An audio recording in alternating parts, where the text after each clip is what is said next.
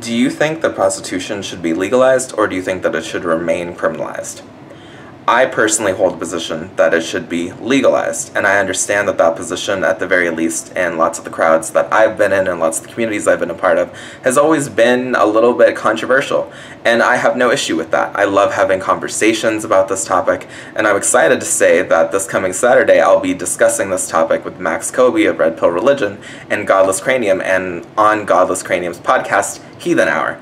I'm very much looking forward to that, and I think it's going to be a fantastic conversation. One of the things that I wanted to talk about this in this video was the fact that conversations about the morality and ethics of sex work and of prostitution are not conversations about the legality or the illegality of prostitution and of sex work. And that's an important thing for people to realize because arguments like, I don't want my daughter to be a prostitute, are not good arguments against legalization.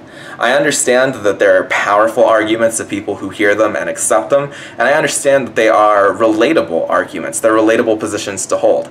I understand that, but at the end of the day, if we're discussing the legalization of something, we need to be looking at its objective impact on society for better or for worse. And there are complex aspects to look at when it comes to things like sex work and prostitution, when it comes to analyzing their impact on society.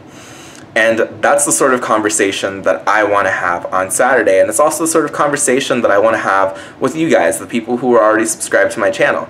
If you disagree with my position, I think that's perfectly fine. I would love to hear your reasoning. And don't get me wrong, I'm not minimizing the powerfulness of these arguments and of these positions.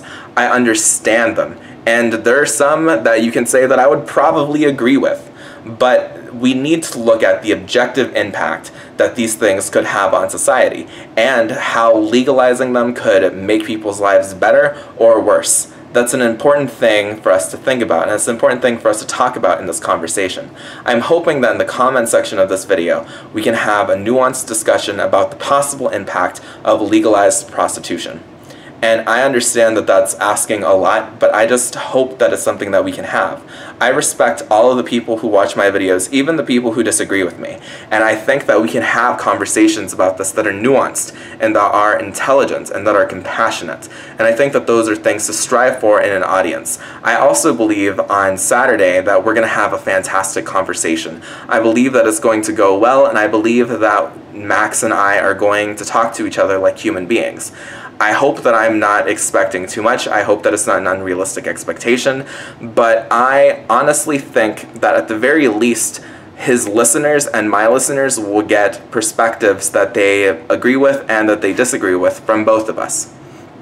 At the end of the day, these are important conversations to be had, and it's important that people get involved and get engaged in these sorts of conversations. I hope that you have a great day, and I look forward to reading your comments.